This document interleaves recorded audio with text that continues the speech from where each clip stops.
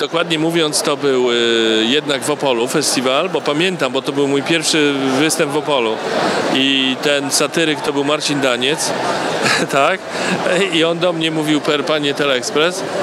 Y, y, tak, oczywiście Teleexpress to jest tak silna marka, tak silny brand i tak długo to robiłem, tak długo prowadziłem ten program i byłem jego twarzą, że to po prostu jest niemożliwe, żeby ludzie nagle zapomnieli o tym, a zresztą no po prostu to jest naturalna sprawa. Y, W dalszym ciągu oczywiście, bez przerwy, ludzie mówią mi o tym programie. Niektórzy są przekonani, że ja dalej prowadzę ten program.